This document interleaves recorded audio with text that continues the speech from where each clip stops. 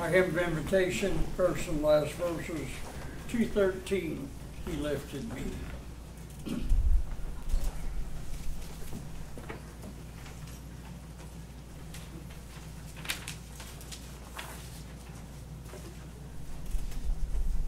We are having an excellent response from our church service being put on the YouTube. We're available for you guys visiting us, okay? Look us up. And it goes out and we get comments back. And I want you to know that people really appreciate the words of the scripture in their simplest fashion and in the purest of ways.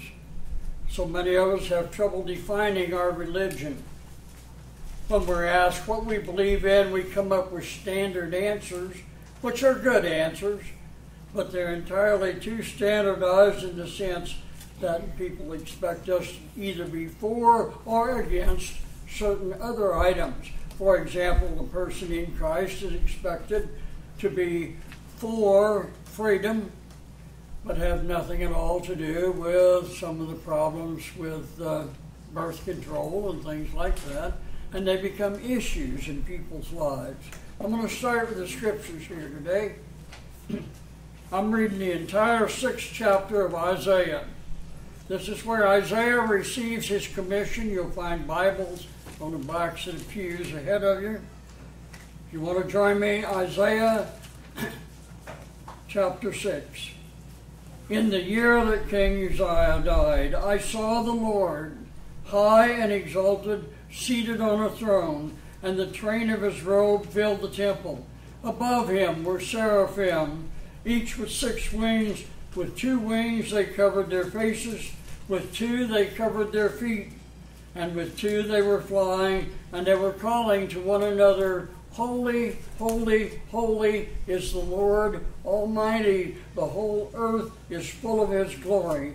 At the sound of their voices, the doorposts and thresholds shook, and the temple was filled with smoke. Woe to me. Now, this is Isaiah talking. Woe to me, he cried.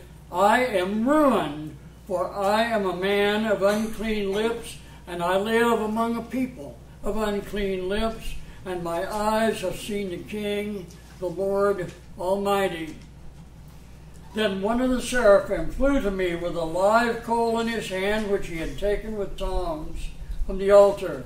With it he touched my mouth and said, See, this has touched your lips. Your guilt is taken away, and your sin is atoned for. Then I heard the voice of the Lord saying, whom shall I send, and who will go for us? Note this answer because it's important.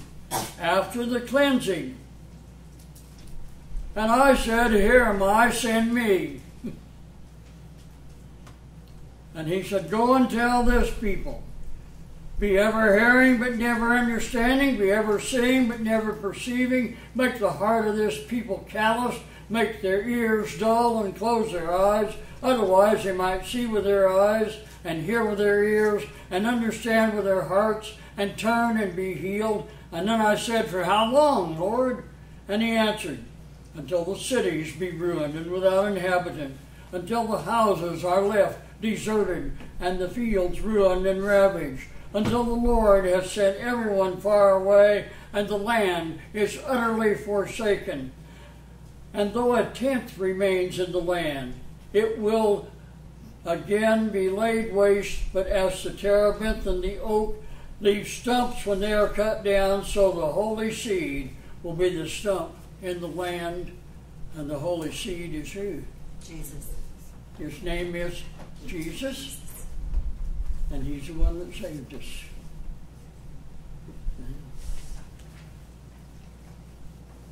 The sermon's about defining our religion.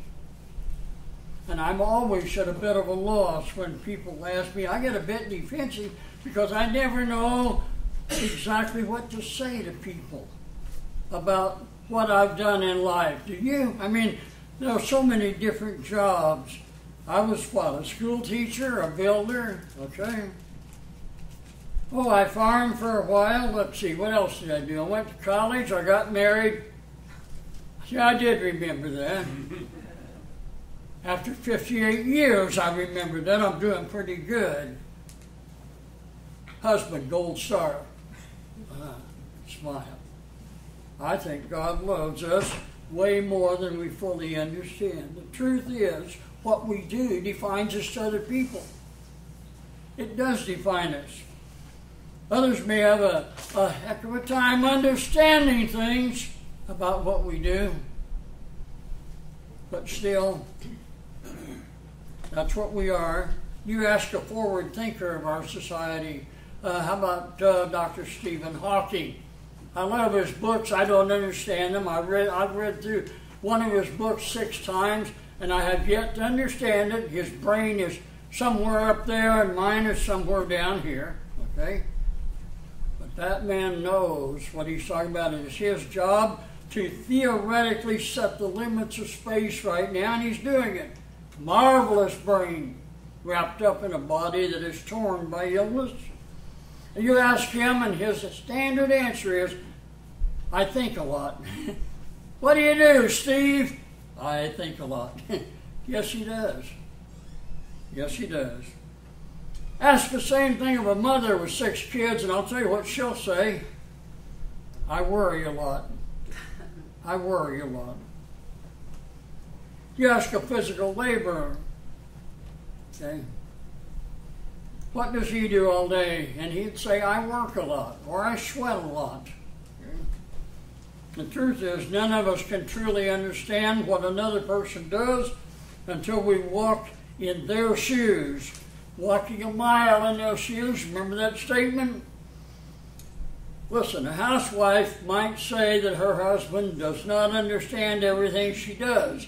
But you wait till some Saturday morning comes along and she says, Oh, by the way, dear, I'm going out with the girls all day and you're taking care of the kids in the house. And I guarantee you he'll have a new understanding at the end of the day, won't he? Mm-hmm. You think you really understand Jesus? Or did you ever take his place and walk with his cross down the highway of life? Listen, I'm standing in line at Walmart now. I don't know anywhere else I'd rather stand in line at than Walmart, right? than Walmart. You get some interesting pictures of people at Walmart. And ahead of me was a frustrated young mother, and she had a, can I use the word brat? he was not exactly behaving himself. He was into everything, always wanting candy, so on and so forth. So I smiled at her and I said, Been there, done that. And she fixed me with this kind of an icy stare. And she said, When did you give birth? uh, uh, went through and came out the back, didn't it? I think my daddy would have called that my comeuppance. and he would have been right. Yes. Careful, Mr. Know It All. You may not know everything you think you do. So, when people ask me what I do, what should I answer them? I pray a lot? Why, I do. Really, I do. How about I talk a lot? Not when you're around, sweetheart. We all know who runs the families in this small community of ours. How about I sit and read a lot? Last week I covered about uh, 1,280 pages of reading. Almost like I was back in college, right?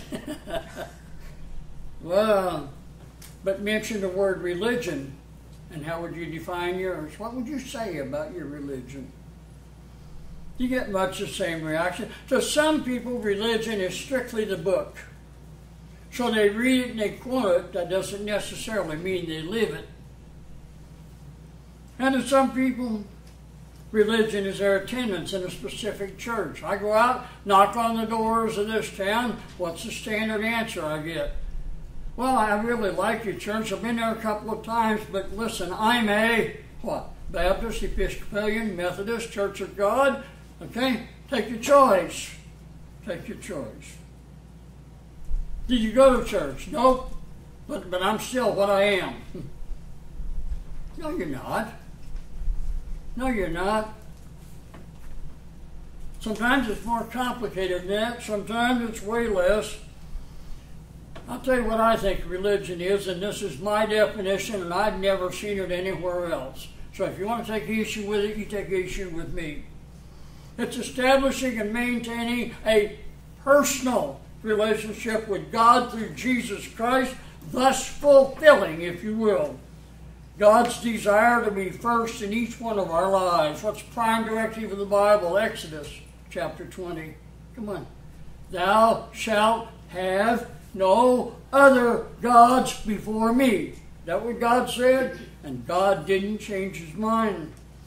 And I say this because all the great people of the Bible knew exactly who was God and why. Anybody remember a man named Enoch? Okay, now you can look this up if you wish, you can just listen for a minute. Genesis 5 22 and 24.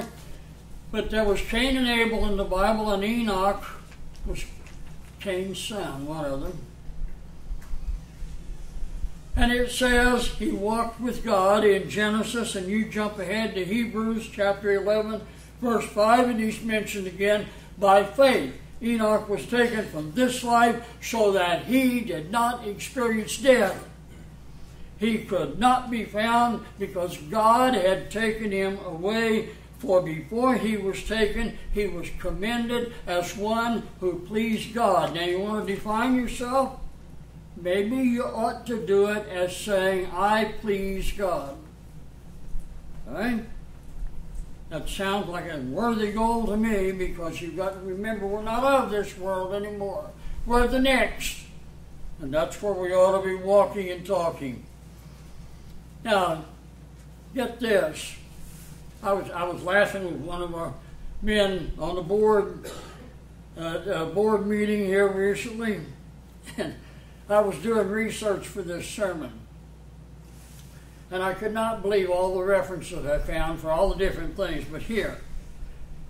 Exodus chapter 3, 14, 19, 22, 24, 34, Leviticus chapter 25, Numbers chapters 20 and 25. And there you'll find that God and Moses carried on face to face conversations. Oh, God may have been in the burning bush, or God may have been hiding himself, but he was seen and felt. And Moses knew he was there. Have you ever been yourself in the presence of God? Well, if you haven't, let me tell you something. You need to seek that experience every chance you get. Walk and talk and pray and be together in God's presence and see if you can't please God as well as Enoch did. So there's Moses in all those chapters I mentioned, and there's Enoch before him, and how about Abram before he was named Abraham?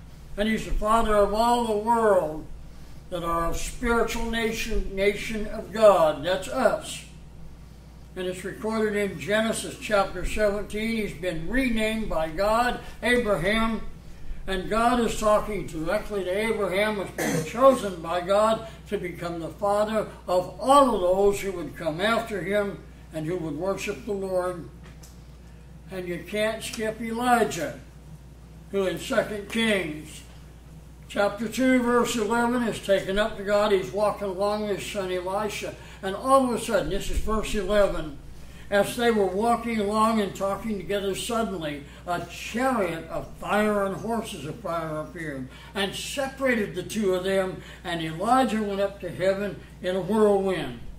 Well, how about a man named Jeremiah? Chapter 1, verse 11 of Jeremiah, where it says that God called him personally, and God says, the Lord came unto me, saying, and he was taken up into God's kingdom in terms of work and service. And that's exactly where we are today. How about Isaiah? Isaiah had to deal with King Hezekiah, and that presented more than a few problems. But Hezekiah needed to be con- converted in the sense that he really believed God was God And so, what God told Isaiah to do, he said, take him down, let him look at the shadow. Those people back then weren't stupid. They knew the shadows only advanced in one direction. Sun moved, the shadow moved the other way. They figured that out. So they, they get down and they look at the shadow, and it's going the backwards way. It's backwards for 10 paces. And that's when it dawned on him. That's when it dawned on him that Hezekiah knew they only advanced in one direction and he saw it go the other way. God must be the greatest there is. Better believe it. You better trust God. That ought to be on your bucket list. You better be trusting God. Okay? You go to the New Testament where God speaks to Jesus directly. Matthew 3:17, this is my beloved son whom I love. With him I am well pleased. And we need to understand. Some people go through this Bible like this. And they read it. And they don't understand any more when they're done than they did when they started. You have to dig in the scriptures to find the meaning of a lot of things.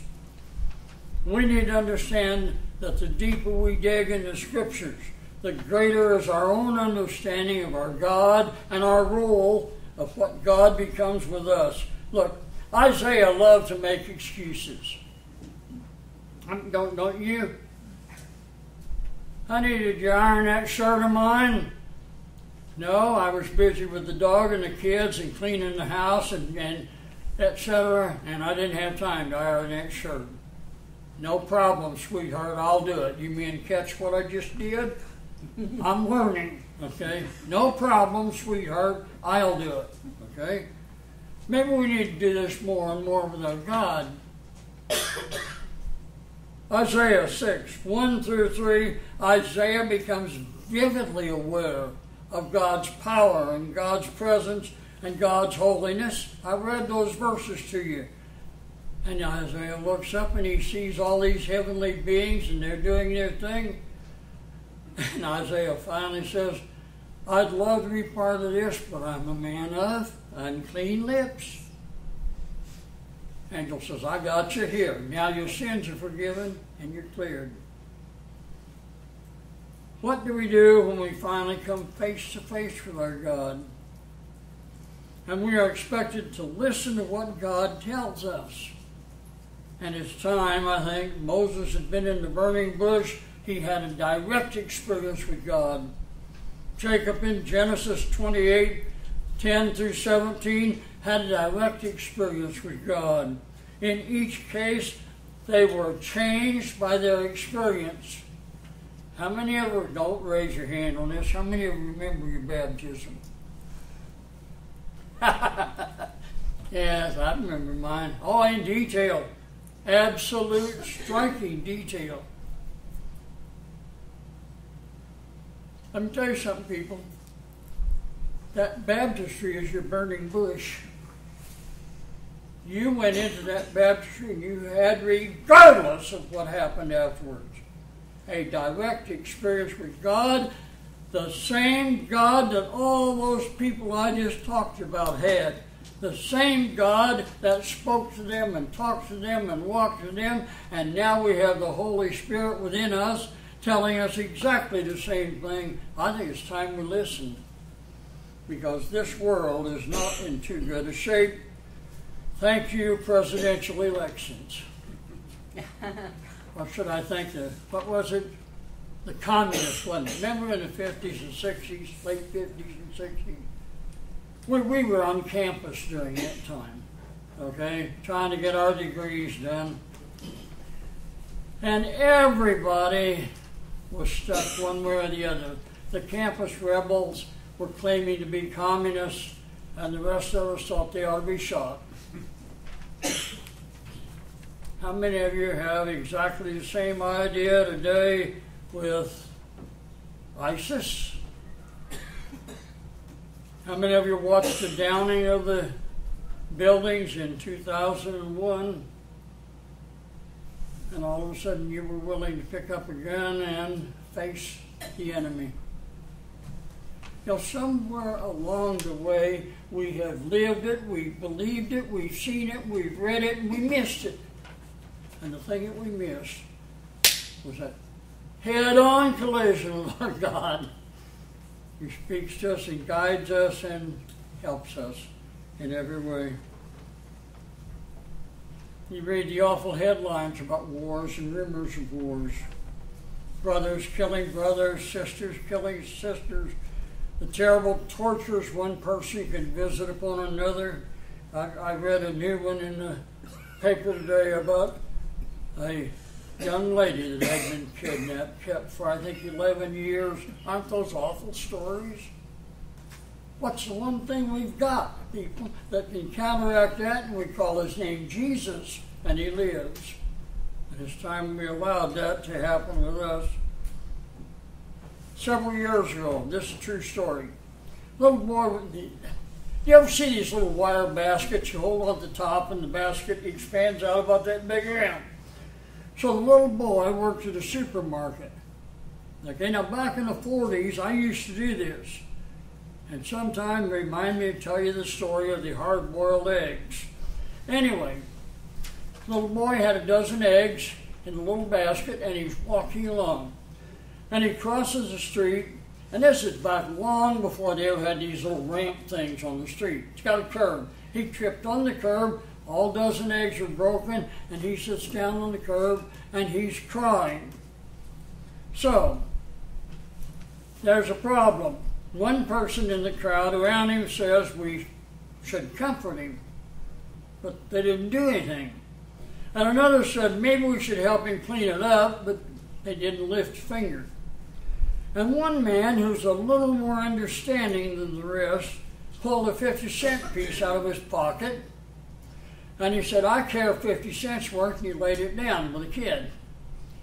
And another man standing there said, Hey, I've got a bit of extra change, pulled a dime out of his pocket. He said, I care a dime's worth. And one lady off to the back, she says, Well, she says, I care a whole dollar's worth and laid it down there.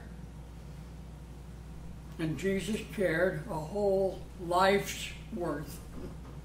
See the difference? Jesus carries us in our existence and he laid down his life for us, and it's time that we saw our job as laying down our lives for others, and I've never used that answer with other people. Have you? Because that's precisely what we do. That's precisely what I do. Every person I ever mentioned earlier in this sermon had agreed to become an instrument of God rather than remain mere instruments of their own pleasures and their selves. So let me put this in modern perspective. This sermon's got about four and a half more minutes to run. You want to time it? Smile at me. And I want you to understand exactly what we're doing here. The crisis is not going to hit, it's already hit. We are already in crisis. We're being attacked on our own homeland for the first time that I can ever remember, except for a Japanese attack on some peninsula up in Alaska a long time ago in World War II. Okay? Things are changing. Things are changing. We have a world that is falling apart spiritually. Where do you think those 3,600 plus new religions come from in this world? They're thought up by people who never heard of Christ, and if they did, wouldn't have believed it.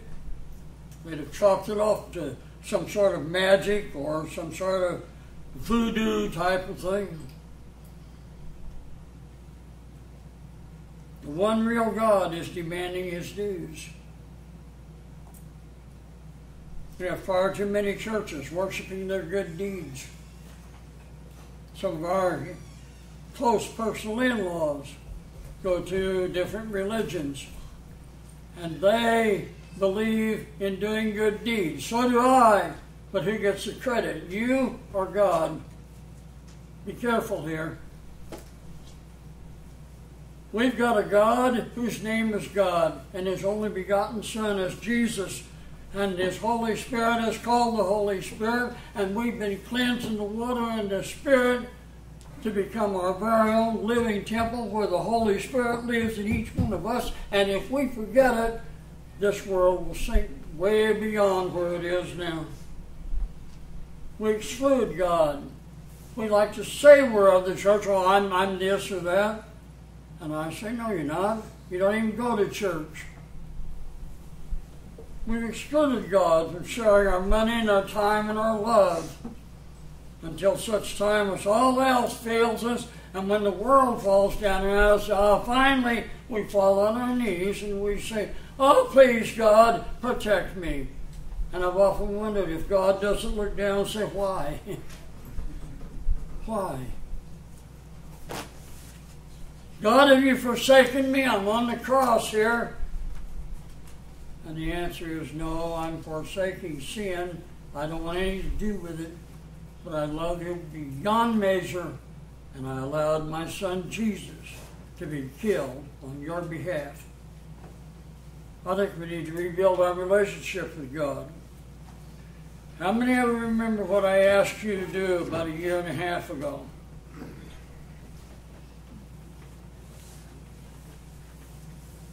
Sure you do. Every morning when you get up, okay, Keep your religion simple. Simply say, Good morning, God. Good morning, Jesus. Good morning, Holy Spirit. What do you want me to do today? And let God direct you and point you and strengthen you and comfort you and keep you so the job gets done. Not because we want to have our own selves feeling grand and wonderful and kind and sweet and good, but because we want our God to be showcased in our lives. I think we need to rebuild our relationship with God. I really think we do. And hope that God takes our efforts seriously and grants us exactly that same guidance and power and direction He's always given over all these years for others in their lives. You know, it seems a shame to sing a song like we're about to sing in our invitation hymn and not let it happen to you. He lifted me. He lifted me, right? Amen. Praise God, He lifted me. Amen. Amen. May God's light shine upon you.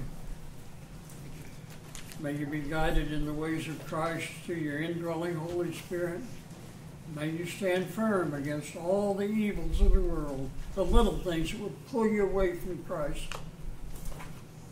And instead stand strong in the Lord. Amen. Amen. Join us in our hymn of invitation, 213, first and last verses. In loving kindness, Jesus came,